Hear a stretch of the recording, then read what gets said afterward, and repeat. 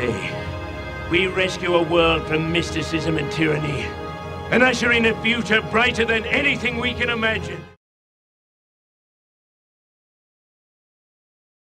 I'll cut this a little short, as the intro is the same as it was for the last Warhammer anthology.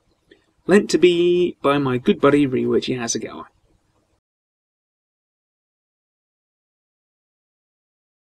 I'm going to preface this review with a quick aside. It's been a while since I last did a 40k based book review. This is largely down to one man and one novel, Graham McNeill and The Chapter's Due. the sheer waste of that novel, the, the squandering of all that potential and the smurf loving tedium of it all really annoyed me, probably more than it should have.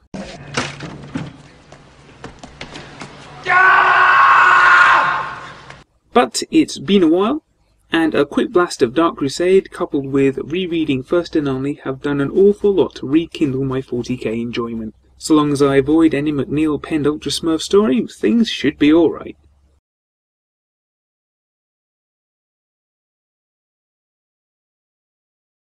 Fuck this shit, fuck it, and burn it with a purifying flame!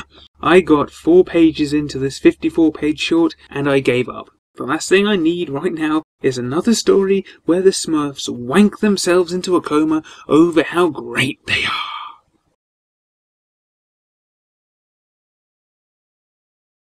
A story that's about as low level as you can get, and despite the setting is probably a very good study of human nature under stress.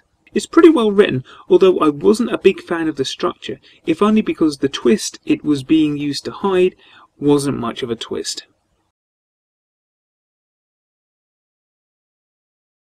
Space Marines are, as a concept, overpowered, which makes it difficult for them to be awesome which is why I really enjoyed this story. It takes a salamander and a smurf, removes their power armor, and pits them against foes that outclass them.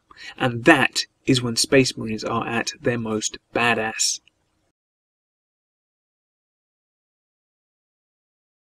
A great high level look at just how much the Imperium has degenerated since Horus Rising and is slowly becoming the fascist state we all know and love. The only thing I hated was how the identity of one character was hidden at the start, it was dramatically pointless and poorly done.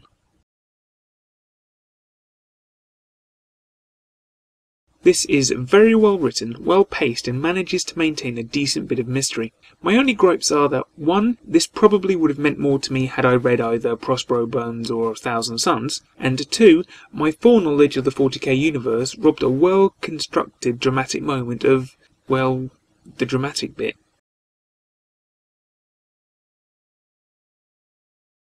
A very decent entry dealing with the aftermath of Isstvan. The ending, though, was a contrast of funny and frustrating. It was funny because I love seeing douchebags get their comeuppance, but it was frustrating because the type of situation it potentially set up has a tendency to annoy me. Overall, this is not a bad tale, mainly due to Abnett's writing, which does save it. But because of what must happen, bearing in mind the Horus Heresy series are effectively historical novels, there ended up being far too much plot armor, plot skill, and plot convenience for my taste.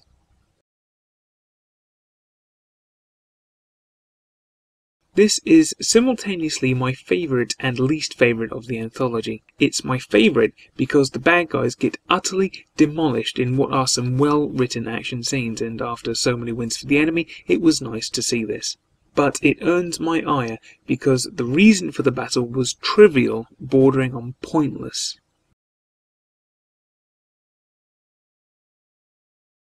Another damn fine short, if only because I enjoy learning about and seeing the Primarchs. It also does a fantastic job of showing just how puny a Space Marine is when compared to the demigod that is a Primarch.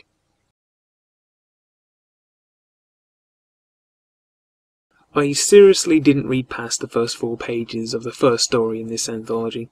I got bored of it so quickly it was untrue, and I left the whole thing untouched for the better part of a year. When I picked the anthology up again, I skipped the first story entirely, and I had a much better time of it. Overall, rules of engagement notwithstanding, this is a decent enough anthology. And yes, I'm definitely damning it with faint praise. There are some good tales here, but they are surrounded by some decidedly average ones.